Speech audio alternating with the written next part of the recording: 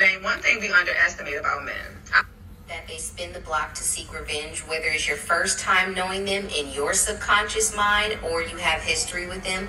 Men cannot handle rejection, whether you know you rejected them or you don't. And my experience has been there been men that have followed me years ago or knew me in high school, but I didn't know of their existence because they weren't on my radar in present day. They'll try and get to know me. I'll allow them to pursue me, and then they say little things that make me go, what the hell kind of resentment statement was that? And then they let me know, oh yeah, I used to follow you.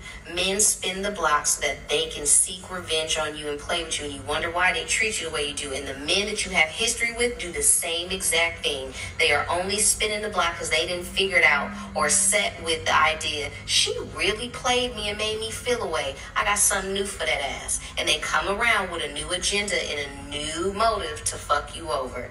We underestimate that far too much. What she's saying is so true. It is so true. To understand why we spinning the block, you gotta understand the nature of a man. This is not nature to hunt.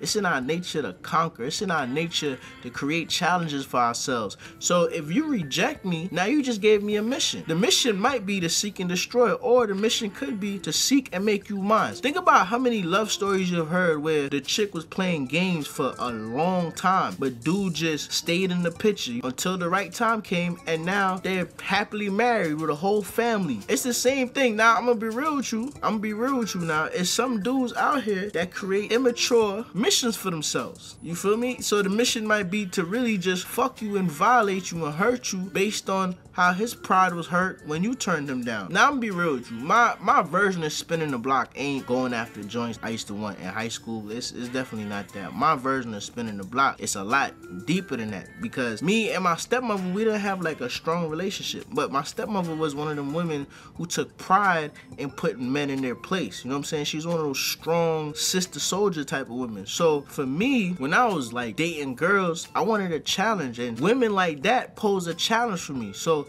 a lot of the girls I used to go after were joints that I felt wouldn't give me a chance. And that was my version of spinning the block, going after girls like that. To be to be honest, to be honest, it was more so me battling my childhood demons. Like I was literally going after these girls to conquer my childhood demons. And that's what I was saying, like sometimes a dude might spin the block on you and then you might just get caught in the crossfire. Them shots not meant for you.